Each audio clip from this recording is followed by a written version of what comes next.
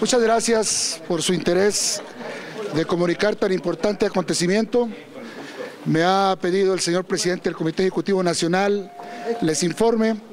que hace unos momentos eh, fue puesta ya en la página de nuestro partido la convocatoria correspondiente para la elección de candidato a la presidencia de la República.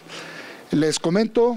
que el día de hoy se emite, del 24 al 30 será un espacio para que los simpatizantes puedan hacer su solicitud correspondiente ante la Comisión Política Permanente.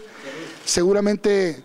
antes del 3 de diciembre, cuando se realizan los registros correspondientes, habrá de sesionar la propia comisión para dictaminar relacionado a las solicitudes que tengan de simpatizantes. Luego, después eh, del 3 de diciembre, eh, que se hacen los registros, tendremos un día más para la garantía de audiencia que les damos a los propios uh, interesados en solicitar su, inscripción para efectos de poder recomponer o, recabar algún documento que les faltara y, luego enseguida el 5 de diciembre se emitirá el dictamen correspondiente. Es muy importante comentarles, ustedes lo saben, la propia convocatoria lo dice, que el día 14 de diciembre inician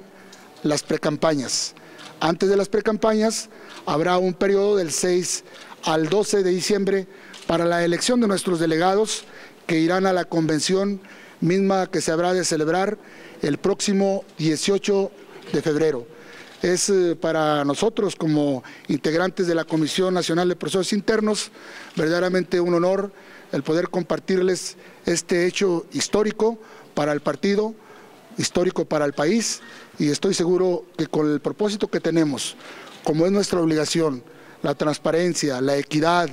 eh, todos los principios que tienen que ver con la legalidad estén, están incorporados en la convocatoria y estaremos todos cuidando de que esto suceda. Quiero comentarles que la Comisión Política, Comisión Nacional de Procesos Internos, integrada por destacados, destacados eh, juristas, destacados políticos, todos ellos estamos en el propósito de coadyuvar para que sea este un extraordinario proceso. En el caso de los simpatizantes, se les pedirán los requisitos que establece la propia Constitución, artículo 34, 35 y 82,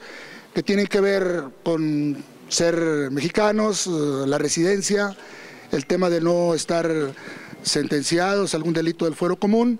y desde luego podrán también ellos, si así lo consideran, este, aunque no es una obligación, poder este, también acompañarse de, apoyos de sectores y organizaciones. Eh, son cuatro, cuatro segmentos los que consideran los que hemos autorizado, tienen que ver con los eh, presidentes de los comités directivos estatales,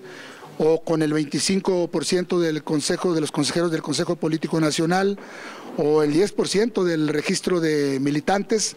que van alrededor de 6 millones y medio, requerirían de 650 mil apoyos para poderse registrar y desde luego tener tres de los siete sectores y organizaciones. Gracias. Muchas